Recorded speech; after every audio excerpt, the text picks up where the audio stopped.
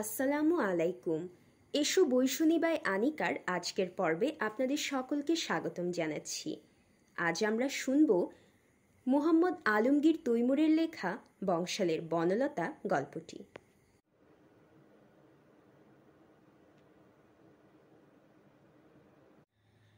আমি ঢাকা বিশ্ববিদ্যালয়ে ইতিহাসের ছাত্র।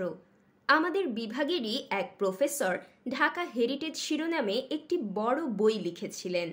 বইটিতে ঢাকা শহরের পুরনো সব বাড়িঘরের ছবিসহ বর্ণনা ছিল। ওই বইটি লেখার সময় প্রফেসর সাহেব এক কাণ্ড করলেন।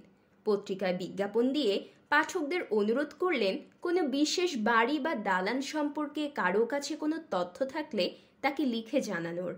বিজ্ঞাপন ছাপা হওয়ার পর পাঠকদের কাছ থেকে প্রচুর চিঠি পান স্যার। চিঠিগুলো পড়ে বাছাই করার দায়িত্ব পড়ে আমার ওপর অন্যান্য অনেক চিঠির সাথে আমি ওপরের লেখাটিও পাই। ওই লেখক স্যারকে বিশেষভাবে অনুরোধ করেছিলেন তার লেখা যেন ছাপা হয়। তার দাবি এই লেখার প্রতিটি কথা সত্যি। চিঠিটা পড়ে ওটা সাথে সাথে বাতিল করে দিই আমি। স্যার একজন প্রখর যুক্তিবাদী ইতিহাসবেত্তা। এই দীর্ঘ বর্ণনা পড়লে তিনি বিরক্ত তো হবেনই উল্টো আমার যোগ্যতা নিয়েও প্রশ্ন তুলবেন। তবে স্যারকে না জানালেও রহস্যপ্রিয় মানুষকে জানাতে দোষ কি? লেখক বানিয়ে বানিয়ে বলেছেন না সত্যি বলেছেন? সেই বিচার তারাই করুন। আমার জীবনের সবচেয়ে অদ্ভুত ঘটনাটি ঘটেছিল উনিশশো চুয়াত্তর সালের শ্রাবণ মাসের এক গুমোর দুপুরে। রাষ্ট্রপতি নিক্সন পিএল ফোর এইটটি চুক্তির অধীনে আমেরিকা থেকে পাঠানো এক জাহাজ গম চট্টগ্রাম বন্দরে পৌঁছানোর আগেই ফিরিয়ে নিয়ে গেছেন ফ্লোরিডার মায়ামি পোর্টে। সারা দেশে দেখা দিয়েছে দুর্ভিক্ষ, তার উপর বন্যা। খেতে না পেয়ে আর ডায়রিয়া, ম্যালেরিয়ায় দেশ জুড়ে লোক মরছে কাতারে কাতারে। কমলাপুর, গুলিস্তান, সদরঘাটের আশেপাশে দিনে রাতে লাশের পর লাশ পড়ছে। বেওয়ারিশ মরা দাফন করতে করতে আঞ্জুমান মফিদুল ইসলামের দম বেরিয়ে যাওয়ার দশা। মুখে রংচং মেখে লাল সবুজ ফিতে দিয়ে চুল বেঁধে মফস্বল থেকে আসা উঠতি মেয়েরা খদ্দেরের আশায় বকের ধৈর্য নিয়ে রাত দিন দাঁড়িয়ে থাকে ওসমানী উদ্যান আর রেসকোর্স ময়দানে। র্যাবের বাবার রক্ষী বাহিনী সারা দেশে নকশাল, সর্বহারা, ডাকাতদের উকুন বাছা করে বাঁচছে। দেশের যখন এই অবস্থা, আমি তখন মতিঝিলে আইসিসি ট্রেডিং এজেন্সিতে জুনিয়র অ্যাকাউন্ট্যান্টের চাকরি করি। থাকি বংশালের কাছাকাছি আলাউদ্দিন রোডের আর্মেনীয় ধাঁচে তৈরি দেড়শো বছরের পুরনো এক বাড়িতে। জগন্নাথ কলেজে বিকম পড়ার সময় থেকেই আছি ওখানে। চাকরি পাওয়ার পর নতুন ভালোবাসায় উঠতে পারতাম, কিন্তু আমি তা করিনি।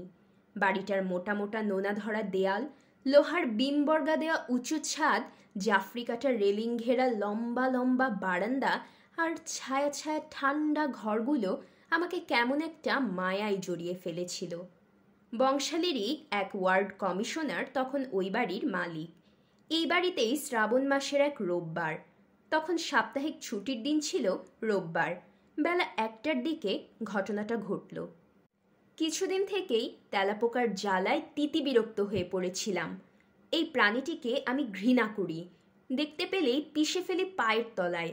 যদিও এ কাজে সফল খুব কমই হই, রাতে শুয়ে পড়লে এগুলো মুখের ওপর হেঁটে বেড়ায়। নাকে মুখে লেগে যায় এদের শরীরের টক টক দুর্গন্ধ। সাবান দিয়ে হাত মুখ ধুলেও ঘিন ঘিন করে গা। ফিনিশ পাউডার, অ্যারোসোল স্প্রে, কোনোটাতেই কোনো কাজ হয়নি। তেলাপোকার গায়ে স্প্রে করলেই তবেই ওটা মরে। সমস্যা হলো তেলাপোকার ভূতের স্বভাব। বের হয় শুধু রাতের বেলা, অন্ধকারে। দেখতে পেলে তবেই না স্প্রে করার প্রশ্ন ওঠে। এবার নিয়ে এসেছি লক্ষণ রেখা নামের এক ধরনের চক। মেঝেতে ইচ্ছে মতো আঁকিবুকি কাটলেই আমার কাজ শেষ। বাকিটা করবে চকের দাগ। দুপুর একটার দিকে গোসলের আগে মুকুলের মাকে সাথে নিয়ে ঘরে চকে দাগ দেওয়া শুরু করলাম। এখানে বলে রাখি, মুকুলের মা আমার রান্নাবান্না থেকে শুরু করে ঘর সাফ, কাপড় কাচা সবই করে। পান খাওয়া লাল ঠোঁট, পেটা শরীর আর ঝামা কালো গায়ের রঙে ছায়া ছায়া অন্ধকারে তাকে দেখলে মনে হয় মা কালীর জীবন্ত মূর্তি। মুকুলের মাকে আমি দুই ঈদে কাপড় দেই। ভালো রান্না হলে তার কিছুটা দেই এবং চাল, ডাল, তেল, নুনের কোনো হিসাব কখনো নেই না। সে বলতে গেলে পুরোপুরি স্বাধীনভাবেই সংসার চালাচ্ছে। তার সাথে আমার কথা খুব কমই হয়। এজন্যই হয়তো আমার যাবতীয় কর্মকাণ্ড জানার ব্যাপারে তার আগ্রহ অসীম। তাকে ঘরের একটা ডুপ্লিকেট চাবি দিয়েছি। আমি অফিসে গেলে সে ঘর পরিষ্কার, বিছানা ঠিকঠাক, এসব কাজ করে। ঘরে আসবাব সামান্যই। দেয়ালের স্কাটিংয়ের নিচ বরাবর দাগ দিয়েছি। দুদিকের দেয়ালে খড়খড়ি লাগানো জানালাগুলো লম্বায় প্রায় দরজার সমান। বাকি দেয়াল দুটোর একটির ঠিক মাঝখানে ক্লজিটের মতো একটি ফাঁকা জায়গা। আগে কাপড় চোপড় জুতা মোজা, হোল্ডল, এসব ওখানে রাখা হলেও বহুদিন হলেও ফাঁকা পড়ে আছে। ক্লজিটের দরজা খুলে দেখি ভেতরটা বেশ স্যাঁতসেতে আর ধুলো ঝুলকালিতে একাকার। আড়াআড়ি সেট করা একটি মোটা কাঠের লাঠিতে মাকড়সার জালে ঢাকা তিনটে আদ্যিকালের হ্যাঙ্গার ঝুলছে। সম্ভবত মুকুলের মা ওটা পরিষ্কার করার কথা কোনোদিন ভেবেও দেখেনি। তেলাপোকার আদর্শ ব্রিডিং গ্রাউন্ড হিসেবে তুলনাহীন এর পরিবেশ। ভেবে দেখলাম পোকাগুলোকে ঝাড়ে বংশে শেষ করতে হলে ক্লজিটটা পরিষ্কার করা খুবই জরুরি। মুকুলের মাকে পানির বালতি, ঝাঁটা, ন্যাকড়া এসব আনতে বলে ক্লজিটের দরজাটা খুলে দিলাম। ভেতরটা দিনের আলোতেও অন্ধকার। কিছু একটা আলোর ব্যবস্থা না করলে পুরোটা দেখা যাচ্ছে না। তিন বছর ধরে এখানে আছি। অথচ ভেতরটা ভালো করে একবারও দেখা হয়নি ভেবে অবাকই হচ্ছি। কেননা, আমি হচ্ছি সেই দলের, যারা যেখানে দেখিবে ছাই এই আপ্তবাক্যে বিশ্বাস করে জীবন কাটায়। মুকুলের মা ঝাঁটা, বালতি, তেনা এসব নিয়ে উপস্থিত হলো। তাকে পরিষ্কার করার কাজে লাগিয়ে আমি গেলাম বাসার সামনে নারায়ণের দোকান থেকে টর্চ লাইট কিনতে। পুরনো ঢাকার এই এক সুবিধা বাসা, বাজার, হোটেল, রেস্টুরেন্ট, মসজিদ, গোরস্থান সব এক জায়গায়। তিন ব্যাটারির এভারেডি টর্চ কিনে চা খেয়ে ফিরে এসে দেখি মুকুলের মা ঝেড়ে মুছে ক্লজেটটা তকতকে করে ফেলেছে। ওটার ভেতর আর বাইরের মেঝে ভেজা ভেজা। না শুকানো পর্যন্ত চকের দাগ দেওয়া সম্ভব নয়। মুকুলের মাকে বিদায় করে ক্লজেটে টর্চের আলো ফেললাম। ভেতরটা বেশ চওড়া অনায়াসে একজন মানুষ ঢুকতে পারবে। সামনের ধূসর দেয়ালে পড়ে ঝিকিয়ে উঠল আলো। বালি সিমেন্টের প্লাস্টার করা সাধারণ দেয়ালে আলোর প্রতিফলন তো এমন তীব্র হওয়ার কথা নয়, বিষয় কি? পরীক্ষা করে দেখলাম, প্লাস্টারের বদলে ওখানে মার্বেল স্ল্যাব বসানো। ক্লজিটের ডান দিকের দেওয়ালও মার্বেল মোড়া। বাদিকে আলো ফেললাম। কিন্তু কই? আলোর প্রতিফলন অন্য দুই দেয়ালের মতো তো তেমন জোরালো হলো না। দেয়ালের রংটাও কেমন যেন মরা মরা মনে হলো। কাছে গিয়ে ভালো করে দেখলাম দেয়ালটা। নখ দিয়ে একটা আঁচড়ও দিলাম। যা ভেবেছিলাম তাই। ওখানকার আসল দেয়াল একটা কাঠের তক্তা দিয়ে আড়াল করা, বহু পুরনো তক্তা। আঙুলের গাটের টোকা দিয়ে বুঝলাম বেশ পুরু। মনে হলো এই আলগা তক্তার ওপাশেও কিছুটা ফাঁকা জায়গা আছে। ওই বাড়তি অংশটাই তক্তা দিয়ে আলাদা করা হয়েছে। লোহার ছেনি, হাতুড়ি কিংবা একটা শাবল পেলে চার মেরে খোলা যেত। থপ থপ শব্দ শুনে পেছন ফিরে তাকালাম। মুকুলের মা রান্না শেষ করেছে, এখন চলে যাবে। আমি যেন খেয়ে নেই এ কথাটা বলতে এসেছে। বলে কি, ভাত খাব? উত্তেজনায় আমার পেট গুড়গুড় করছে তখন। বংশাল মোড়ে বিউটি ভলকানাইজিং গাড়ি আর মোটরসাইকেলের পাংচার টায়ার সারে। ছেনি হাতুড়ি ওদের কাছ থেকে চেয়ে আনলাম। ছেনি মেরে দেয়াল থেকে আলগা করলাম তক্তাটা। যে জায়গায় তক্তা ছিল, সেখান থেকে ভেতর দিকে আরও ফুট চারেক এগিয়েছে ক্লজিটটা। স্যাঁতসেতে ধুলো ভরা মেঝের ওপর চামচিকে বাদুরের কঙ্কাল। হালকা আধারে ধপধপ করছে এগুলোর সাদা দাঁত। ভক করে কটু একটা গন্ধ নাকে এসে লাগল। ঝিমঝিম করে উঠল মাথার ভেতরটা। কাত হয়ে পড়েই যাচ্ছিলাম। দেয়াল ধরে কোনো রকমে খাড়া রাখলাম নিজেকে। ক্লজিট থেকে বেরিয়ে টর্চটা নিয়ে আবার ফিরে গেলাম ওখানে। আলো ফেলে দেখলাম সামনে পেছনে একই রঙের মার্বেলের দেয়াল। শুধু শেষ মাথায় যে দেয়াল, সেইটে কুচকুচে কালো সাধারণ পাথর দিয়ে মোড়া। এরই মাঝখানে লম্বা চওড়ায় ফুট দুয়েকের মতো কুলুঙ্গি টাইপ গভীর একটা গর্ত। সেই কুলুঙ্গির ভেতর সাদা রঙের দেড় ফুট লম্বা একটি মূর্তি। ওপরে পুরো ধুলো জমে থাকায় ভালো করে দেখা যাচ্ছে না মূর্তিটা।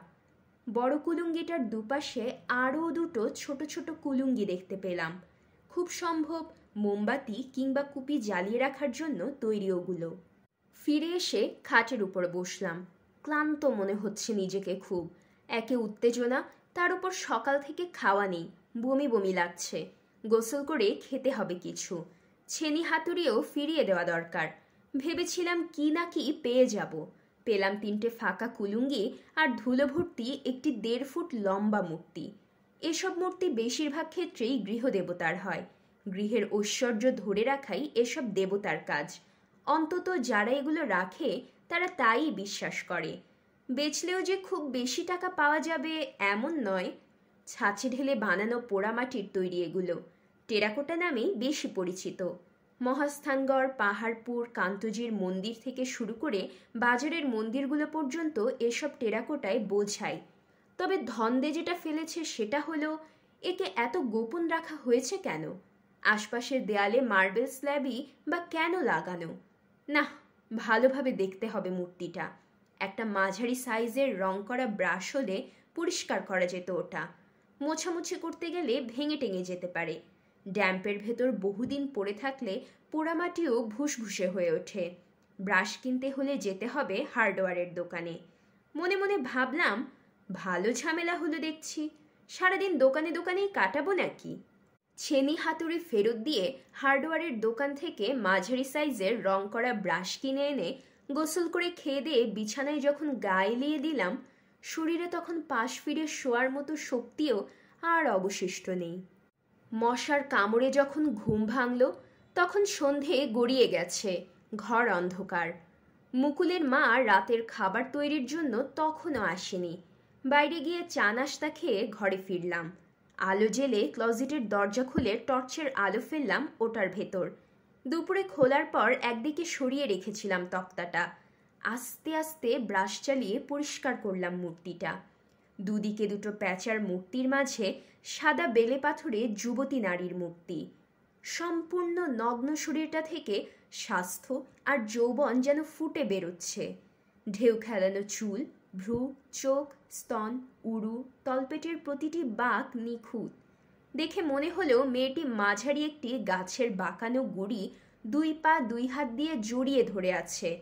যুবতীর ডান কাঁধের ওপর লেপটে আছে গাছের একটি কাটা ডাল। তকতকে মসৃণ গাছের গুড়ি। সেটাতে না কোনো ডালপালা, না পাতা। প্যাঁচাগুলোর দিকে তাকিয়ে দেখলাম, ওগুলোর পা পাখির পায়ের মতো নয়, তরুণী মেয়েদের পায়ের মতো। ড্যাম্প পরিবেশের কারণে মূর্তির গায়ে রাষ্ট্রের দাগ পড়ে গেছে। এই দাগ উঠাতে হলে মূর্তিটাকে স্পিরিট দিয়ে ঘষতে হবে। ঘরে রাবিং অ্যালকোহল ছিল। রুমালে অ্যালকোহল লাগিয়ে ঘষে ঘষে দাগ কিছুটা তুলে ফেললাম। যেটাকে গাছ মনে করেছিলাম, দেখলাম সেটা আদৌ কোনো গাছ নয়। যুবতীকে জড়িয়ে ধরে থাকা একটি মোটা সাপ ওটা। সাপের পুতির মতো চোখগুলোতে নীল রঙের ছোট ছোট পাথর বসানো। কুলুঙ্গি দুটোর দিকে চেয়ে দেখলাম ওগুলোর মাথায় ঘন কালো রঙের ছোপ। কোনো এক সময় নিয়মিত বাতি জ্বালানো হতো ওগুলোর ভেতর। অনেকক্ষণ হয় টর্চ জ্বালিয়ে রেখেছি। কটা আলো বেরুচ্ছে। ব্যাটারি শেষ হয়ে এসেছে ওটার। যে কোনো মুহূর্তে নিভে যাবে টর্চ। দুটো মোম ধরিয়ে দুই কুলুঙ্গিতে রাখলাম। মোমের কাপা কাপা আলোয় মনে হলো যুবতীর শরীরের ওপর মোচড় খাচ্ছে সাপটি। তাকিয়ে থাকলে নেশা ধরে যায়। জোরে দরজা ধাক্কানোর শব্দে আমার ঘোর কাটল। ক্লজিটের দরজা বন্ধ করে রুমের দরজা খুলে দেখি মুকুলের মা দাঁড়িয়ে আছে। রাতের রান্না শেষ। যাওয়ার আগে আমাকে এক কাপ চা বানিয়ে দেবে কি না জানতে চায় তাকে বিদায় করে কাপড় চোপড় পরে বাইরে বের হলাম। ভাবলাম খোলা হাওয়ায় একটু হাঁটাহাঁটি করে আসি। রাস্তাঘাট বেশ ফাঁকা ফাঁকা। একে রোববার তার উপর এমনিতেই তখন ঢাকায় লোকজন এখনকার তুলনায় অনেক কম ছিল। হাঁটতে হাঁটতে চলে এলাম হোসেনি দালানের বর্তমান আহসান মঞ্জিল, সামনে বুড়িগঙ্গার ধারে। প্রকাণ্ড কম্পাউন্ডের এই ভাঙাচোরা প্রাসাদটি এককালে দোর্দণ্ড প্রতাপে কাঁপত। ভারতবর্ষের দণ্ডমুণ্ডের কর্তারা এখানে বসে বাইজি নাচ দেখতেন, ফিস্ট খেতেন আর বড় বড় সিদ্ধান্ত নিতেন। এখন এখানে এসে জুটেছে রাজ্যের ভবঘুরে আর ভিখিরি। সামনে চলছে মদ, গাজা, জুয়া, মাগিবাজি। আশপাশে ওত পেতে আছে ছিনতাইকারী হাইজ্যাকার। তখনও দালানটির আশপাশে অনেকগুলো পুরনো বাড়ি দেখা যেত, নবাবের কর্মচারীদের কোয়ার্টার। এখন ভূমি ডাকাতেরা ওগুলো দখল করে ভেঙে চুরে রুচিহীন সব দালান তুলেছে। একালের লেখক হুমায়ুন আজাদ একবার বলেছিলেন সব কিছু নষ্টদের অধিকারে যাবে। বাস্তবে হয়েছেও তাই। হোসেনি দালানের সামনে গেলে প্রায় মনে পড়ত একটা কিংবদন্তির কথা। একসময় কাহিনীটা এই এলাকায় সবার মুখে মুখে ছিল। নবাব সলিমুল্লাহ প্রতিদিন ভোরে বুড়িগঙ্গায় গোসল সেরে ফজরের নামাজ আদায় করতেন। এজন্য সুন্দর একটি ঘাটও বানিয়েছিলেন। নবাব একদিন খুব ভোরে গোসল করতে এসে দেখলেন, শাড়ি পরা, টকটকে ফর্সা এক যুবতী সোনার বদনা হাতে ঘাটের সিঁড়িতে একাকি বসে আছে। মেয়েটির গা ভরা সোনার গহনা, খালি পায়ে লাল আলতা দেওয়া। তখনও ভোরের আলো ঠিকমতো ফোটেনি। সলিমুল্লাহ মেয়েটিকে মিষ্টি কথায় ভুলিয়ে আধো অন্ধকারে প্রাসাদে এনে নিচতলার এক গোপন কুঠুরিতে রেখে দেন। সেখান থেকে তাকে তিনি কোনো দিন বের হতে দেননি। নবাব ছাড়া ও ঘরে ঢোকার সাধ্য কারও ছিল না।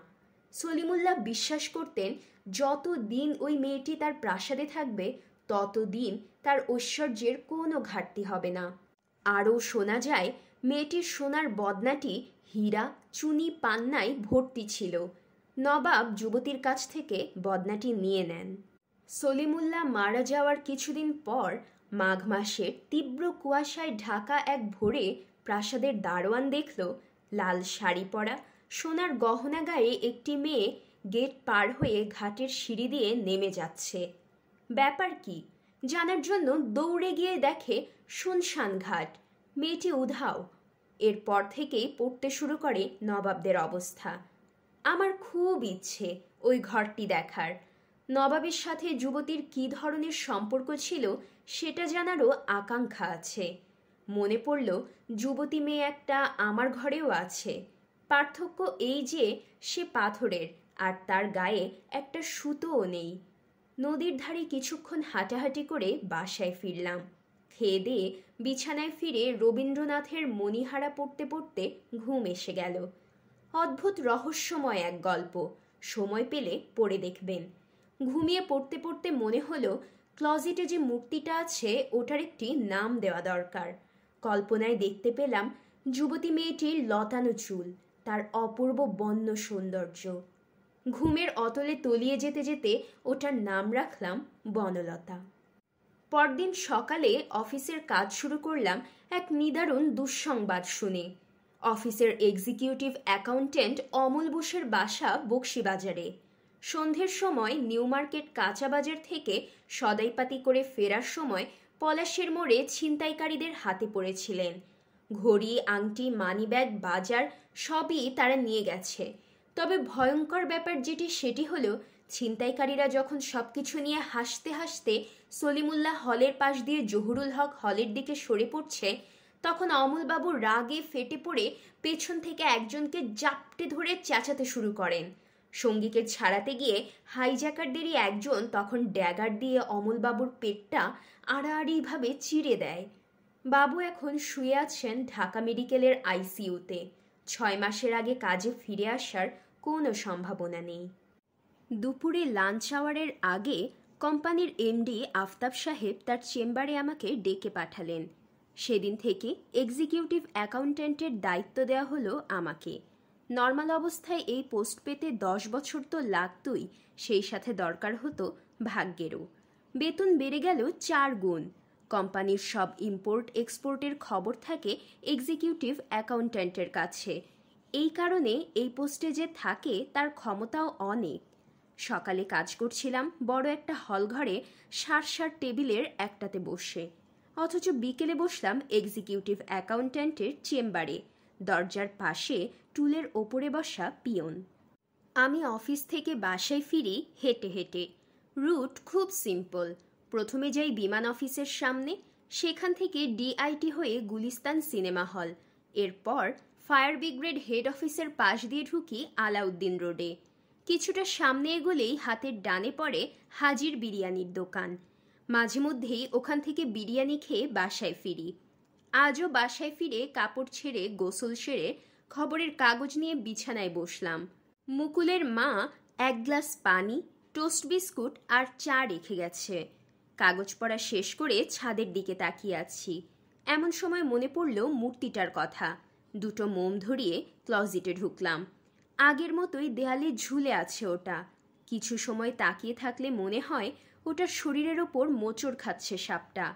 তাকিয়ে আছি তো আছি। সংবিত ফিরে পেলাম মুকুলের মায়ের ডাকে। রান্নার লবণ নেই। ক্লজিট থেকে বেরিয়ে মুকুলের মায়ের হাতে একটা টাকা দিয়ে লবণ আনতে পাঠালাম। আর ঠিক তখনই বিদ্যুৎ চমকের মতো একটা কথা মনে হলো। মনে হলো বললে ঠিক বলা হয় না। আসলে মনের ভেতর কে যেন কথা বলে উঠল। মনে হলো, কে যেন বলছে, লবণ কেন, আরও লবণ কেন? পরদিন সকালে অফিসে গিয়েও মাথার ভেতর ওই একই কথা ঘুরতে লাগল। ধরা যাক, অনেক লবণ কিনে রাখলাম, কিন্তু তারপর কি হবে? তবে এ কথা ঠিক যে, আগে স্থিতিশীল থাকলেও স্বাধীনতার পর থেকেই কোনো কোনো নিত্য প্রয়োজনীয় জিনিসের দাম হঠাৎ হঠাৎ বেড়ে যেত। কিছু লবণ কিনে রাখলে কেমন হয়? ধরা যাক একশো মন বর্ষাকাল চলছে অফ সিজন কিনে দেখা যেতে পারে। লস হলে আর কতই হবে? তখন এক সের লবণের দাম ছিল ষাট পয়সা থেকে বারো আনা। অফিসের পেটি ক্যাশে সব সময় পঞ্চাশ হাজার টাকা থাকে। সেখান থেকে দু হাজার টাকা উঠিয়ে পাইকার বাজার থেকে একশো মন লবণ কিনে অফিসেরই গোডাউনে ফেলে রাখলাম। সপ্তাহ দুয়েক পর হঠাৎ বাড়তে লাগল দাম। আপনারা জানেন সে সময় প্রতিশের লবণ বিশ বাইশ টাকায়ও বিক্রি হয়েছে। যার কাছ থেকে কিনেছিলাম, বিক্রিও করলাম তার কাছেই। কেনা ছিল দু হাজারে বেচলাম আশি হাজারে সেই সময় আটাত্তর হাজার টাকা অনেক টাকা। রাতারাতি বড় লোক হয়ে গেলাম। এই ঘটনার মাসখানেক পর ঘটল একই রকম আরেকটি ঘটনা। তবে মুকুলের মা এইবার লবণের পরিবর্তে উল্লেখ করল শুকনো মরিচের কথা। গতবারের মতো তখনও আমি ক্লজিটের ভেতরেই ছিলাম। এখানে বলে রাখি, প্রতিদিন সন্ধ্যায় মোমবাতি জেলে মূর্তিটির দিকে তাকিয়ে থাকা আমার প্রধান একটি কাজ হয়ে দাঁড়িয়েছিল। ওই কাজটি না করলে শান্তি পেতাম না মনে। তবে এবার আর অত চিন্তা করলাম না। এমডি সাহেবকে রাজি করিয়ে প্রচুর শুকনো মরিচ কিনে গোডাউন ভরে ফেললাম। তার সাথে আমার ফিফটি ফিফটি লাভের চুক্তি হলো। অফিসকে এর মধ্যে জড়িয়ে ফেলার পেছনেও কারণ ছিল। ভেবে দেখলাম, এভাবে একা একা যদি টাকা বানাতে থাকি, তাহলে সহকর্মীদের কোপানলে পড়তে বেশি সময় লাগবে না। তারা যদি কেউ একবার রক্ষী বাহিনীর কানে আমি মজুদদার, কালোবাজারি এ কথা তুলে দেয়, তাহলে আর দেখতে হবে না। এ কথা সবাই জানে, পাঁচ টাকা শেরির শুকনো মরিচ তখন বিক্রি হয়েছিল একশো ষাট টাকায়। এ ঘটনার পর এমডি সাহেবের সাথে আমার ভাব হলো গলায় গলায়। একসাথে লাঞ্চ করি, ডিনার খাই, পার্টিতে যাই। এখন মূর্তির সামনে দাঁড়িয়ে বাংলাদেশে যেসব জিনিস ইম্পোর্ট করা হয়, সেসব জিনিসের কথা চিন্তা করলেই একটা আইটেমের নাম পেয়ে যাই। যদিও তখনও আমি একই বাসায় থাকি, মুকুলের মায়ের রান্না খাই, তবু আমার ভেতর একটা বড় পরিবর্তন এসে গেল। মেয়েদের প্রতি হয়ে পড়লাম ভীষণ দুর্বল। আজে বাজে মেয়েদের প্রতি যতখানি না হলাম, তার থেকে বেশি হলাম ভদ্রঘরের মেয়েদের প্রতি। যে কোনো উপায়ে তাদের বিপদগামী করা আমার কাছে হয়ে উঠল নেশার মতো। আমার প্রথম শিকার হলো আমাদেরই অফিসের রিসেপশনিস্ট মেয়েটি, ভদ্রঘরের গ্র্যাজুয়েট মেয়ে। যুদ্ধের আগে এর বাবা যথেষ্ট ধনী ছিল, এখন অভাবে পড়ে চাকরি করছে। আশায় আছে ভালো একটা বিয়ের।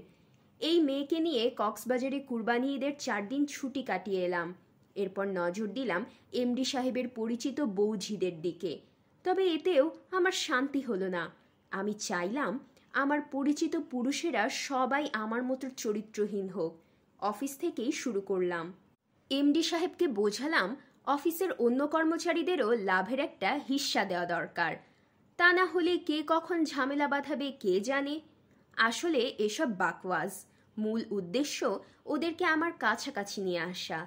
ছুটির দিনগুলোতে সহকর্মীদের নিয়ে মদ, জুয়ার আড্ডা বসিয়ে দিতাম হোটেল পূর্বাণী অথবা ইন্টারকন্টিনেন্টালে, বর্তমানে সেরাটন। ভদ্রঘরের শিক্ষিত, বিবাহিত, অবিবাহিত মেয়েরা আমাদের সঙ্গ দিত। এসব সহকর্মীর স্ত্রীরা সচ্ছলতার মুখ দেখল ঠিকই, তবে ঘরের শান্তি হারালো চিরতরে। কলিগদের অনুপস্থিতিতে নিয়মিত তাদের বাসাতেও আমি যেতে শুরু করলাম। এত কাণ্ডের ভেতরেও রাতে বাসায় ফিরলেই আমি মোম জেলে মূর্তির সামনে গিয়ে দাঁড়াতাম। মাঝে মধ্যে একটি গোলাপ কিংবা গন্ধরাজ ফুল রাখতাম ওটার পায়ের কাছে। তবে একটা প্রশ্ন সবসময়ই আমার মনে উকি দিত, মূর্তিটা কিসের? আর ওটা এখানে রাখলই বা কে? এরই ভেতর আরও একটা পরিবর্তন লক্ষ্য করলাম। আমার হাত, পা, গাল ফুলে যেতে লাগল।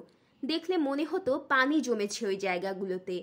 চোখের নিচের মাংসপিণ্ড দুটো পোটলার মতো হয়ে ঝুলতে লাগল। আয়নায় নিজের চেহারা দেখে মনে হয় সামনে রাবণের মা দাঁড়িয়ে আছে। অল্প শ্রমেই হাঁপিয়ে যেতে লাগলাম। আগে এক ঘুমে রাত পার করতাম, এখন ঘুমালেই ভীষণ নোংরা সব স্বপ্ন দেখে ঘেমে নেয়ে উঠি। সারা রাতে ঘুম হয় ছাড়া ছাড়া। সব সময় অস্থির লাগে। মেজাজ চড়ে থাকে সপ্তমে। আমার অনেক টাকা। অন্যেরাও টাকা বানিয়েছে আমাকে দিয়েই। কার ঘাড়ে কয় মাথা? আমাকে কিছু বলে? ফেরিওয়ালা রিক্সাওয়ালা ভিখিরি, হোটেলের বয় বেয়ারাদের সাথে মানবেতর ব্যবহার করতে লাগলাম আমি। তবে ভালো মন্দ জ্ঞান তখনও আমার সম্পূর্ণ লোপ পায়নি। তখন ফাগুন মাস। রোববার সকাল এগারোটার দিকে বাসা থেকে বের হলাম এমডি সাহেবের সাথে ঢাকা ক্লাবে মেজবানির দাওয়াতে যাওয়ার জন্য। ঘর থেকে বেরোতেই মুকুলের মার সাথে দেখা। কি রান্না হবে জানতে চায়। দুপুরে বাইরে খাব, ফিরতে রাত হবে বলে বিদেয় করলাম তাকে। বাসার সামনে রিক্সার জন্য অপেক্ষা করছি, এমন সময় শুনতে পেলাম কে যেন ভাইয়া ভাইয়া করছে। তাকিয়ে দেখি নারায়ণ আমাকে হাত নেড়ে নেড়ে ডাকছে। তার দোকানে বসা এক হিন্দু ভদ্রলোকের সাথে পরিচয় করিয়ে দিল নারায়ণ। ভাইয়া ওনার নাম জীবন চৌধুরী, খুলনা থেকে এসেছেন। এই বাড়িতে থাকে এমন কারোর সাথে দুটো কথা বলতে চান। জীবন চৌধুরীর দিকে তাকালাম। পঞ্চাশের কাছাকাছি ওই ভদ্রলোককে কৌন্দর্প কান্তি বললেও কম বলা হয়। চওড়া কপালের ওপর ঢেউ খেলানো পাতলা চুল, টিকালো নাক, ফর্সা ধবধবে গায়ের রং, ফিনফিনে ধুতি পাঞ্জাবি পরনে, পায়ে পামসু, গলায় চন্দন কাঠের ছোট মালা, কপালে চন্দনের টিপ। নারায়ণের দোকানের সামনে দাঁড়িয়ে একজন অপরিচিত লোকের সাথে ফালতু আলাপ করার প্রশ্নই ওঠে না। তারপরও আমি দাঁড়ালাম। আসলে ভদ্রলোককে দেখে একরকম মুগ্ধই হয়েছিলাম। ভাবলাম, দু একটা কথা বললে ক্ষতি কি? মেজবানি শুরু হতে এখনও ঘণ্টাখানেক বাকি। খুলনা তো আর সাভার নারায়ণগঞ্জ না। এত দূর থেকে যখন এসেছে, বলিই না দু চারটে কথা। অনিচ্ছা সত্ত্বেও স্রেফ ভদ্রতার খাতিরে চৌধুরীকে বললাম, চলুন না বাড়ির ভেতরে, আমার ঘরে গিয়ে বসি। ভাই, শুনুন, সময়ের মূল্য আমি বুঝি। বেড যখন হয়েই পড়েছেন, ফিরে আর কি হবে? তার চেয়ে বরং যেদিকে যাচ্ছিলেন, সেদিকেই চলুন। যেতে যেতেও তো কথা বলা যায়। অবশ্য আপনার যদি কোনো অসুবিধা হয়, তাহলে ভিন্ন কথা। না না, অসুবিধা আর কি। দুপুর বারোটায় দৈনিক বাংলার মোড়ে আমাদের এমডি সাহেবের সাথে দেখা করার কথা। ওখান থেকে আমরা অন্য আরেকখানে যাব। তাহলে রিক্সা নিয়ে ওদিকেই যাওয়া যাক, কি বলেন? শিওর। রাস্তা ফাঁকা, গাড়ি ঘোড়া নেই বললেই চলে। শেখ সাহেব চতুর্থ সংশোধনী দিয়ে রাজনৈতিক কর্মকাণ্ড আর খবরের কাগজের মুখ দুটোই বন্ধ করেছেন। মাঝে মধ্যেই গাঢ় সবুজ রঙের উর্দি পরা রক্ষী বাহিনীর গাড়ি পাশ দিয়ে হুশ করে বেরিয়ে যাচ্ছে। এই বাহিনীর জওয়ানেরা সারা দিন রেকি করে। একটা মাছিও গলতে পারবে না এদের চোখের সামনে দিয়ে। খান সেনাদের উচিত ছিল এদের কাছে ট্রেনিং নেওয়া। ফুলবাড়িয়া রেলগেট, সেই সময় ফুলবাড়িয়াতে বাস স্ট্যান্ডের জায়গায় একটা রেলওয়ে স্টেশন ছিল। পার হয়ে রেলওয়ে হাসপাতালের কাছে ডানে মোড় নিল রিক্সা ঠিক সেই সময় মুখ খুললেন জীবনবাবু। আপনি লিলিথ হাউসে কতদিন হলো আছেন? কি হাউস বললেন? Lily house? ভাই, লিলি হাউস তো বলিনি, বলেছি লিলিথ হাউস। এ আবার কি ধরনের নাম? জীবনেও শুনিনি। ও বাড়ির যে একটা নাম আছে তাই তো জানতাম না। না জানাই স্বাভাবিক। নাম ফলকের মার্বেল স্ল্যাবটা তুলে ফেলা হয়েছে অনেক আগেই। তাছাড়া করিম কমিশনার যে বাড়ির মালিক, সেই বাড়ির নাম যদি দেওয়াও হয় তাহলে সেটা হবে হাজেরা কুটির। জীবনবাবু, কিছু যদি মনে না করেন, তাহলে একটা প্রশ্ন করি। শুনুন ভাই সাহেব, আমি কালীঘাট হাই স্কুলের হেডমাস্টার। সারাদিন অসংখ্য প্রশ্নের উত্তর দেওয়া আমার অন্যতম প্রধান কাজ। দ্বিধা দ্বন্দ্ব ঝেড়ে ফেলে একাধিক প্রশ্ন করুন। বাড়িটা সম্পর্কে এত কিছু জানলেন কি করে আপনি? আমার সাথে কথাই বা বলতে চান কেন? প্রথম প্রশ্নের উত্তরে বলছি ওই বাড়িটা একসময় আমার ঠাকুরদার ছিল। আমার ছেলেবেলা কেটেছে ওখানেই। দ্বিতীয় প্রশ্নের উত্তর হল, বহুদিন আগে নিদারুণ এক দুর্ঘটনার কারণে এই বাড়িটি আমাদের ছেড়ে যেতে হয়েছিল। স্কুলের একটা কাজে ঢাকার ডিজি অফিসে এসেছিলাম। সন্ধ্যের লঞ্চে খুলনা ফিরে যাব আজকেই। নবাবপুর রোডের যে হোটেলে উঠেছি, সেটি ওই বাড়িটা থেকে খুব বেশি দূরে নয়। ভাবলাম, এত কাণ্ড যে বাড়িতে ঘটল সেটা একবার দেখেই আসি। ওখানে যদি কেউ থাকে, তার সাথে দুটো কথাও বলা যাবে। দুর্দান্ত এই লোকের কথা বলার আর্ট, যাকে বলে টু দ্য পয়েন্ট কথা বলে মানুষটি। বঙ্গদেশে একশো জনের ভেতর নিরানব্বই জনেরই এই গুণটির অভাব আছে। এর কথা শুনতে আমার ভালো লাগছে। গুলিস্তান সিনেমা হল পার হচ্ছে রিক্সা পাঁচ সাত মিনিটের ভেতর দৈনিক বাংলার মোড়ে পৌঁছে যাবে। ভেবে দেখলাম এর কাছ থেকে হয়তো পুরো ঘটনাটা শোনার একটা সুযোগ থাকলেও থাকতে পারে। বলা যায় না। মূর্তিটার ব্যাপারেও এর কিছু না কিছু জানা আছে। মতিঝিল থেকে স্টেডিয়ামে ঢোকার গেটের পাশেই একটা ভালো রেস্টুরেন্ট ছিল, এখনও আছে। জীবনবাবুকে নিয়ে গেলাম সেখানে। একে তো রোববার, তার উপর লাঞ্চ আওয়ারের এখনও অনেক দেরি। ফাঁকা রেস্টুরেন্টে সমুচা আর দু কাপ চায়ের অর্ডার দিয়ে কোনার একটা টেবিলে থিতু হয়ে বসলাম দুজনে। জীবন চৌধুরীকে বললাম, বাবু, আমি স্বীকার করছি আমার পুরো মনোযোগ আপনি আকর্ষণ করতে পেরেছেন। আমার ধারণা, রিকশায় বসে যে কথাগুলো আপনি বললেন, সেটা আসলে মূল বক্তব্যের ভূমিকা। ডিনার সার্ভ করার আগে অ্যাপিটাইজার। আপনাকে এখানে নিয়ে আসার পেছনে একমাত্র কারণ আপনার মূল বক্তব্য শোনানো। আপনি শিক্ষিত, বুদ্ধিমান মানুষ। আশা করি আমার উদ্দেশ্য ধরতে পেরেছেন। মনে হয় এখন আপনার ঝেড়ে কাশার সময় হয়েছে, কি বলেন? দুটো মাংসের পুর দেওয়া সমুচা খেয়ে চায়ে চুমুক দিয়ে কথা শুরু করলেন জীবনবাবু। আপনাকে গোড়া থেকেই বলি, আঠারোশো পঞ্চান্ন সালে ওই বাড়িটি বানিয়েছিল আইজ্যাক কোহেন নামের এক ইহুদি। বেশিরভাগ লোকই মনে করে বাড়িটি আর্মেনীয় ধাঁচের, আসলে ওটার স্থাপত্যশৈলী সিরিয়। তখন দেশে চলছে ইস্ট ইন্ডিয়া কোম্পানির শাসন। সতেরোশো তিরানব্বই সালে লর্ড কর্নওয়ালিস চালু করেন তার কুখ্যাত চিরস্থায়ী বন্দোবস্ত আইন। সারা দেশ জুড়ে সৃষ্টি হলো বড় বড় সব আইসি জমিদারের। এসব জমিদারদের বখে যাওয়া ছেলেদের চড়া সুদে হ্যান্ডনোটে টাকা ধার দেওয়াই ছিল কোহেনের মূল ব্যবসা। ঢাকার রেসকোর্স ময়দানের ঘোড়দৌড়ের বুকির কাজও করত সে। কোহেনের এদেশে ঘাঁটি গড়ার পেছনে ছোট্ট একটা ইতিহাস আছে। লন্ডনে বসে ইংরেজরা দেখল ভারতে ইস্ট ইন্ডিয়া কোম্পানির অফিসারেরা আঙুল ফুলে কলা গাছ হয়ে যাচ্ছে। কথাটা খুবই সত্যি। এত বড় ঐশ্বর্যশালী ভূখণ্ডের দণ্ডমুণ্ডের কর্তা যদি ইংল্যান্ডের একটি কোম্পানি হয়, তাহলে কোম্পানির লোকেরা ওই অঢেল সম্পদের একটি অংশ তাদের পকেটে তো পূর্বেই কোম্পানির কর্মচারীরা তখন ব্যবসা বাণিজ্য দুর্নীতি কিংবা নীল চাষ করে দু হাতে পয়সা লুটছে। এরকম অবস্থায় দলে দলে ইংরেজ ভাগ্যান্বেষী এদেশে আসতে থাকে। তবে কথা ঠিক যে তাদের অনেককে নিঃস্ব হাতেও এখান থেকে ফিরতে হয়েছে। কোহেনের ব্যাপারটা ভিন্ন। সে টাকা বানিয়েছিল অন্যভাবে। হয়ে উঠেছিল এক জীবন্ত কিংবদন্তি। ব্রিটিশ নাগরিক হলেও কোহেনের বাপ ঠাকুরদা ছিল সিরিয়। সিরিয়ার এমন কিছু ইহুদি আছে যারা পুজো করে অত্যন্ত প্রাচীন কিছু অপদেবতার। বহু আগে থেকেই ইহুদিরা অর্থলোভীর চশমখোর হিসেবে সারা দুনিয়ায় পরিচিত।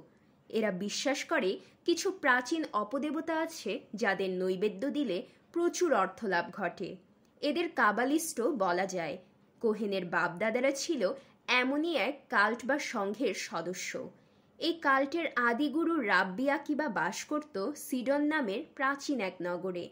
আকিবা সাফির, জাজির এবং জোহর নামের দুটো বইয়ে সব কিছু লিখে রেখে যায়। সেও আজ থেকে প্রায় দু হাজার বছর আগের কথা। ধীরে ধীরে ভয়ঙ্কর শক্তিশালী হয়ে ওঠে এই কাল্ট।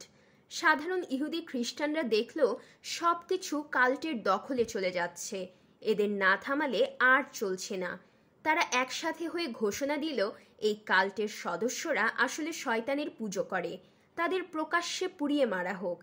রাতারাতি প্রাণ হারালো কাল্টের অসংখ্য সদস্য। আমার ধারণা, কোহেনও সেই দলেরই একজন। তবে সে সব পরিচিত অপদেবতা বাদ দিয়ে পূজা করত এক অপদেবীর।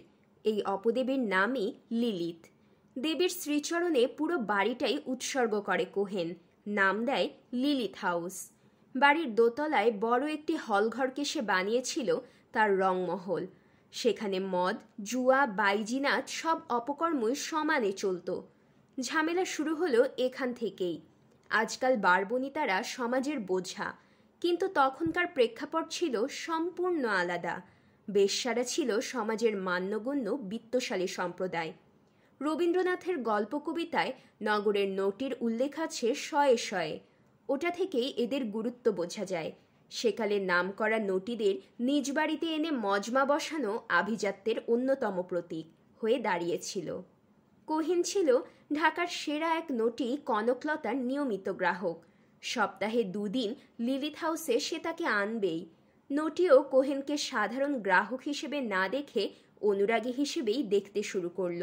হাজার হলেও কোহেন শ্বেতাঙ্গ, তার ওপর অসম্ভব শক্তিশালী। একবার বিক্রমপুরের অল্প বয়সী এক জমিদার কোহেনের অতিথি হয়ে কনকলতার সান্নিধ্যে এলো। এরপর থেকেই কনকলতাকে পাওয়ার জন্য পাগল হয়ে উঠল সে। ইচ্ছে কনকলতাকে পাকাপাকিভাবে নিজের কাছে রেখে দেবে। কিন্তু কোহেন তো সেটা মেনে নিতে পারে না।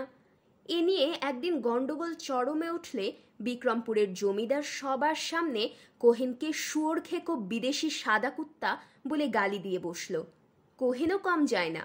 সে ধরল ঢাকার পুলিশ সুপার অ্যান্ড্রু ম্যাথাসকে একজন ব্রিটিশ নাগরিককে হুমকি দেওয়ায় তিন মাসের জেল হয়ে গেল বিক্রমপুরীর। নব্বই দিনের জেল জীবনে জমিদার প্রতিজ্ঞা করল, ইহুদি সুৎখরে শেষ দেখে ছাড়বে। বিক্রমপুরীর কপাল ভালো, ইহুদি শেষ দেখার জন্য তাকে বেশি দিন অপেক্ষা করতে হয়নি।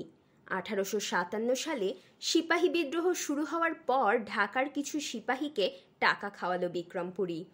এক রাতে লিলিথ হাউসে হানা দিল বিদ্রোহী সিপাহীরা। কোহেন তখন দোতলার রংমহলে কনকলতার কোলে মাথা রেখে শুয়ে আছে। প্রথমে রংমহলের দামি ইরানি কার্পেটের ওপর দুজনকে জবাই করে সিপাহীরা। এরপর কোহেনের হাত, পা, জিহ্বা, পুরুষাঙ্গ কেটে টুকরো করে আগুন লাগিয়ে দেয় ঘরটিতে।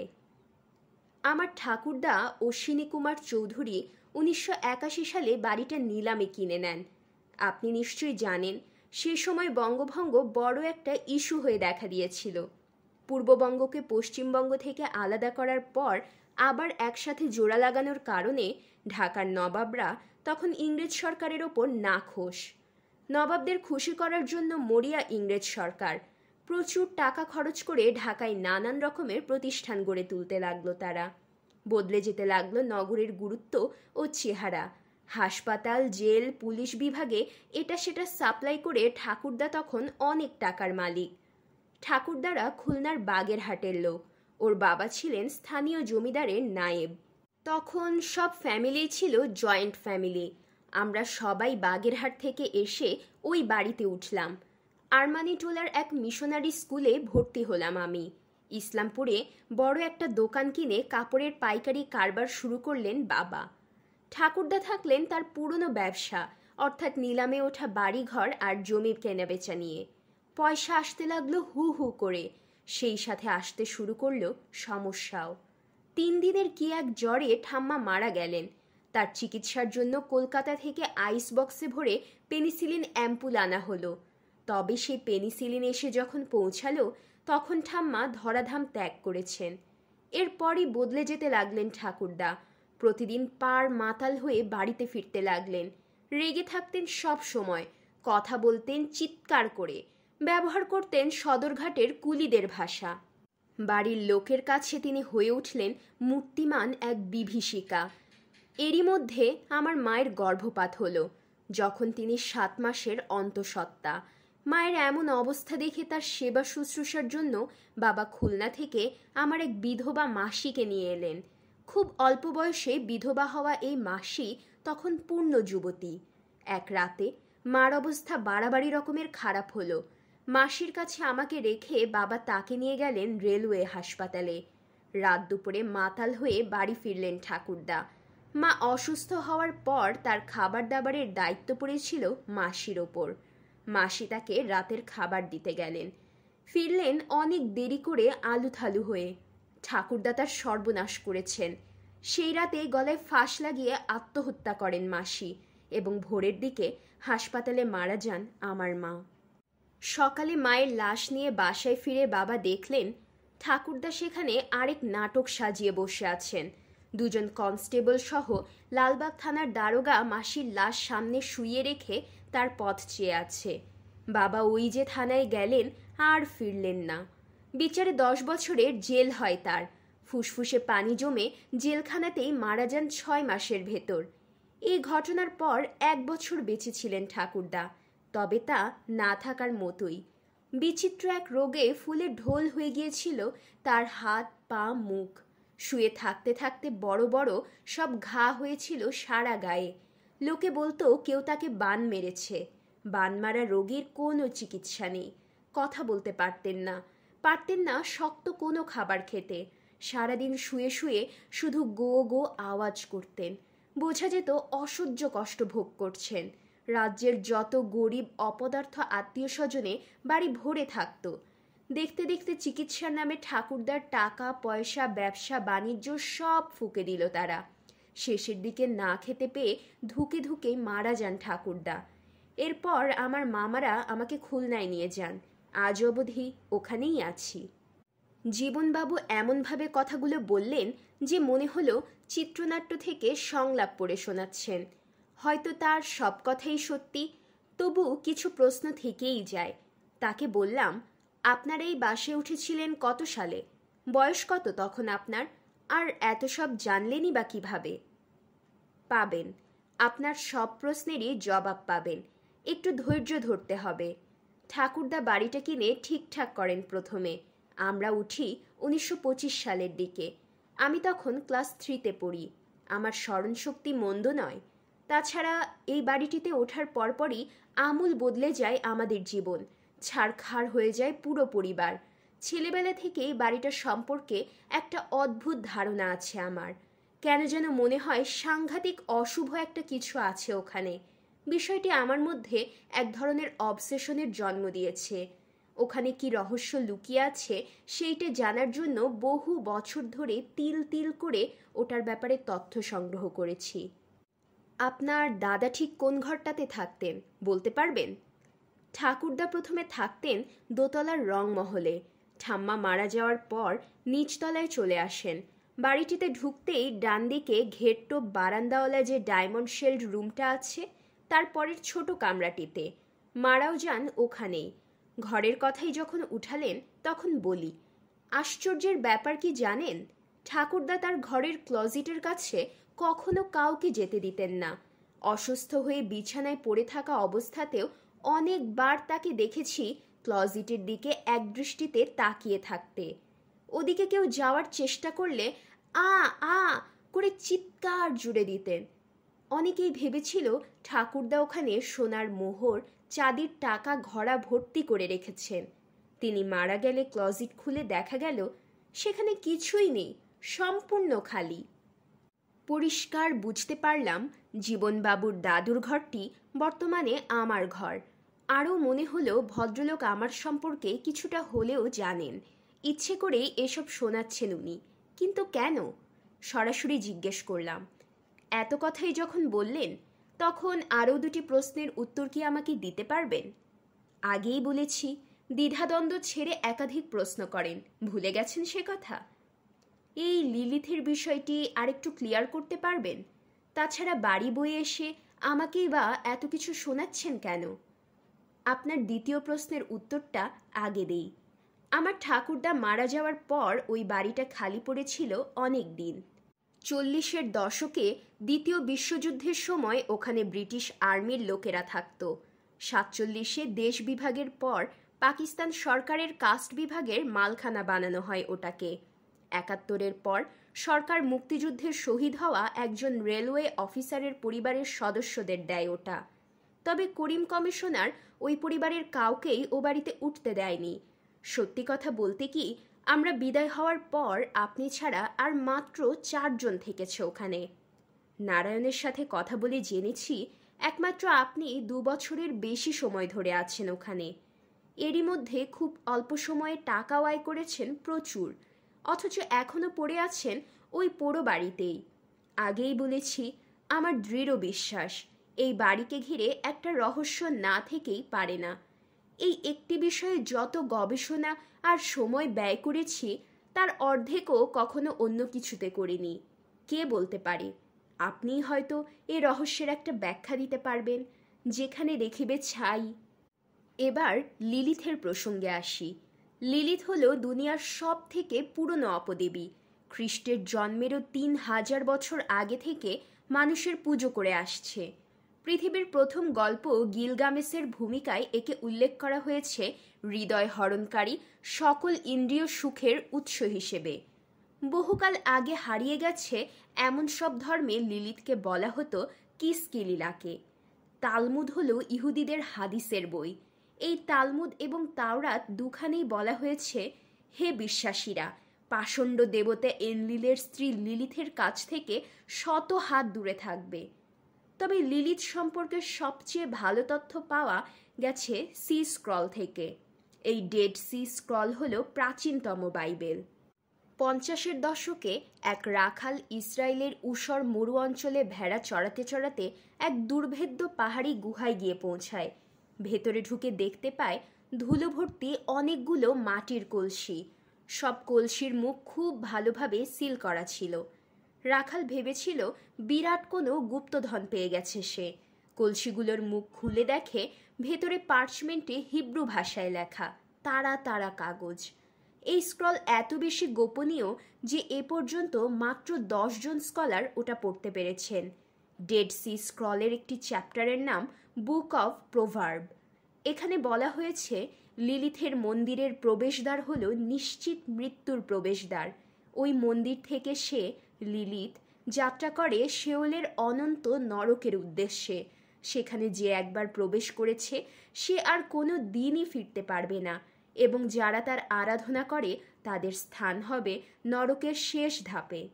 লিলিত হল নিষিদ্ধ ইন্দ্রিয় সুখ, বিকৃত যৌনক্রিয়া, মদ, জুয়া এবং বিভৎস অসুখের সব থেকে প্রাচীন একচ্ছত্র দেবী। প্রায় দেড়শো বছর আগে বাগদাদের কাছে চার হাজার বছরের পুরনো একটি মন্দিরের ধ্বংসাবশেষের ভেতর লিলিথের দুর্লভ একটি মূর্তি খুঁজে পান প্রফেসর বার্নি। মন্দিরটির গর্ভগৃহের সরু একটা চেম্বারের দেয়ালে আটকানো অবস্থায় ছিল ওটা। ওই মূর্তির পায়ের কাছে অতি প্রাচীন কিউনিফর্ম লিপিতে লেখা ছিল, রাতের রানী লিলিথ তার বোন এরেশ কিগালকে নিয়ে ব্যাবিলনের সমস্ত বেশ্যালয় নিয়ন্ত্রণ করে।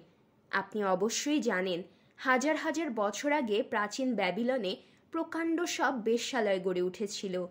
ইতিহাসের প্রথম এবং সব থেকে বড় সিনসিটি ওটাই।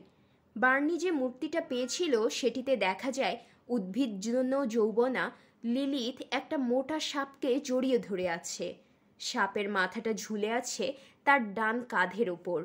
লিলিথের দুদিকে তরুণীর পায়ের মতো পাওয়ালা দুটো প্যাঁচা। লিলিথের পুজো করা খুবই সহজ। সন্ধ্যের সময় মূর্তির দুদিকে দুটো মোমবাতি জ্বালালেই লিলিথ তাকে পূজারী হিসেবে গ্রহণ করে। এরপর পূজারীর ভালো মন্দের দায়িত্ব তার। ভীষণ ক্ষতিকারক বলে যুগের পর যুগ ধরে ইহুদি আর খ্রিস্টান ধর্মগুরুরা লিলিথের সব মূর্তি ধ্বংস করে ফেলে। আঠারোশো সাতাশ সালে প্রফেসর বার্নির লিলিথের মূর্তিটা আবিষ্কারের আগ পর্যন্ত দুনিয়ার মানুষ জানতই না লিলিথ দেখতে কেমন? শোনা যায়, সচরাচর কোনো পূজারীকেই লিলিথ বেশি বাঁচতে দেয় না। যদি না অন্য কেউ, ওই সময়ের ভেতর স্বেচ্ছায় তাকে পুজো দেয় এবং আগের পূজারী চিরতরে লিলিথকে ত্যাগ করে সৎ জীবন বেছে নেয়। কোহেন সে অর্থে কিছুটা বেশি দিনই বেঁচে ছিল বলতে হবে। আমি যেটা কিছুতেই ধরতে পারছি না, সেটা হলো, বাড়িটিতে লিলিথের প্রভাব এত স্থায়ী হলো কীভাবে? ততক্ষণে জীবনবাবুর লেকচার শুনে শুনে দুই আর দুয়ে চার মেলাতে শুরু করেছি। তাকে বললাম, বাবু, আপনার রহস্যের কিছুটা সমাধান আমি দিয়ে দিচ্ছি। আমার ধারণা যেভাবেই হোক, কোহেন সিরিয় কাবালিস্ট গুরুদের কাছ থেকে লিলিথের মূর্তির একটা কপি হাসিল করে। মূর্তিটাকে নিয়ে আসে এই বাড়িতে। রক্ষা করে সর্বোচ্চ গোপনীয়তা। ভুলেও যাতে কারও হাতে না পড়ে ওটা সেজন্য ছোট্ট একটি মন্দির বানায় সে।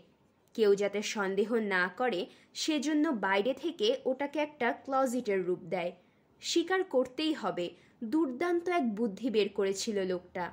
তবে কোহেন হঠাৎ খুন হয়ে যাওয়ায় মন্দির রয়ে গেল যে কে সেই।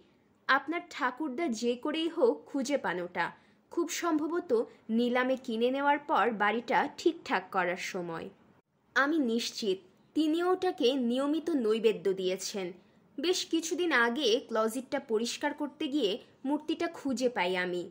ক্লজিটের ভেতর কাঠের একটা তক্তা দিয়ে চমৎকারভাবে আড়াল করে রাখা ছিল ওটা। খুব ভালো করে খুঁটিয়ে না দেখলে এই কেলোর কীর্তি কারও বোঝার সাধ্য নেই। তারপরও কেউ যদি দেখেও ফেলে, তবু ওটা আসলে কি সেটা বুঝতে পারা প্রায় অসম্ভব। কোনো কিছু বোঝার আগেই সর্বনাশ যা ঘটার ঘটে যাবে। আমার কথাই বলি। আপনার সাথে দেখা না হলে কিংবা দেখা হলেও যদি আপনি এত কিছু না বলতেন, তাহলে জানতে পারতাম না কিছুই। সব কিছু শুনে জীবনবাবু কেমন যেন হয়ে গেলেন। তার কপালে দেখা দিল চিকন ঘামের রেখা। বুক চিরে বেরিয়ে এলো ঠান্ডা দীর্ঘশ্বাস। হঠাৎই অত্যন্ত ক্লান্ত ও বয়স্ক মনে হলো মানুষটিকে। কোলের ওপর ফেলে রাখা হাত দুটোর দিকে একদৃষ্টিতে তাকিয়ে রইলেন জীবনবাবু। সারা জীবন ধরে তাড়া করে ফেরার রহস্যের সমাধান পাওয়া গেছে অবশেষে। এর পরের ঘটনা ঘটল অবিশ্বাস্য দ্রুততার সাথে। এখন বসে ভাবলে পরের ঘটনাগুলোকেই বেশি অদ্ভুত মনে হয়। জীবনবাবু হোটেলে ফিরে গেলেন। আমি ঢাকা ক্লাবে মেজবানি খেয়ে ফ্ল্যাশ খেলতে গিয়ে হেরে ভূত হতে লাগলাম। এরকম তো হওয়ার কথা নয়। জুয়া খেলায় আমি প্রায় অজেয়। আজ মন বসাতে পারছি না কিছুতেই। দেখলাম এমডি সাহেবও মাঝে মধ্যে অবাক হয়ে তাকাচ্ছেন আমার দিকে। উনি সবসময়ই আমার পার্টনার। আমি হারলে সে দায়ভাগ নিতে হয় তাকেও। সন্ধ্যের দিকে উনি বললেন, আজকে না হয় বাদ দেন, লাক ফেভার করছে না। কালকে আবার ট্রাই করে দেখা যাবে, কি বলেন? হাফ ছেড়ে বাঁচলাম আমি। ক্লাব থেকে বেরিয়ে হেঁটে হেঁটে ফিরলাম লিলিথ হাউসে। সত্যি কথা বলতে কি, জীবনবাবুর একটা কথা ভুলতে পারছিলাম না কিছুতেই। শোনা যায়, সচরাচর কোনো পূজারীকেই লিলিথ দু বছরের বেশি বাঁচতে দেয় না। সাংঘাতিক মন খারাপ হয়ে গেল আমার। মনে হলো, এই হেঁটে চলা, রাস্তাঘাট, জগৎ সংসার, সব কিছু অলিক। সম্পূর্ণ অপরিচিত এই পৃথিবী। আমি কেউ নই এখানকার। ডাক ছেড়ে কাঁদতে ইচ্ছে হলো আমার। হাঁটতে হাঁটতে কখন বাসার সামনে চলে এসেছি বুঝতেই পারিনি। সিঁড়ি ভেঙে বারান্দায় উঠতে যাব, এমন সময় চোখ গেল আমার ঘরের খড়খড়ি দেওয়া জানালার দিকে। মনে হলো ভেতরে খুব হালকা একটা আলো জ্বলছে। ঘরের সামনে গিয়ে দেখলাম দরজার তালা খোলা, সামান্য ফাঁক হয়ে আছে পাল্লা। মুকুলের মা ঘর পরিষ্কার করে আলো জেলে, অন্ধকার করে নয়। আস্তে করে দরজা ফাঁক করে উকি দিলাম ভেতরে। দেখলাম ক্লজেটের দরজা খুলে বের হয়ে আসছে মুকুলের মা। হাতে মোমবাতি।